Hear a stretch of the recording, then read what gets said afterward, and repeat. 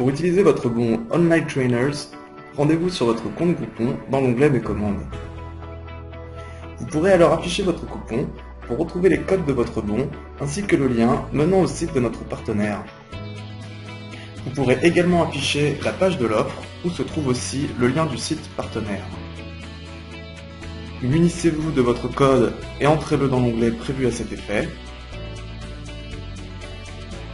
Choisissez la langue que vous souhaitez apprendre, puis cliquez sur Suivant.